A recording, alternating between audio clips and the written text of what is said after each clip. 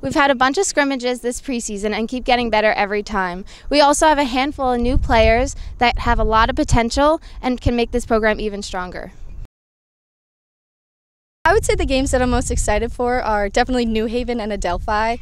New Haven is always a really tough opponent, but it's always a fun game. And for Adelphi, we came really close last year, and I think we're all just excited for a good comeback.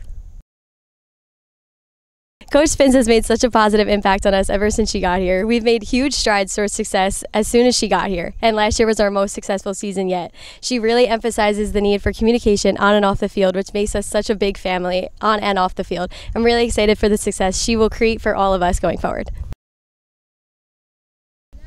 Some of our goals for this season is to continue building up our team chemistry. Um, we want to be a really strong competitor in the NE10. We want to keep upsetting teams ranked higher than us and then make our way back to playoffs this year.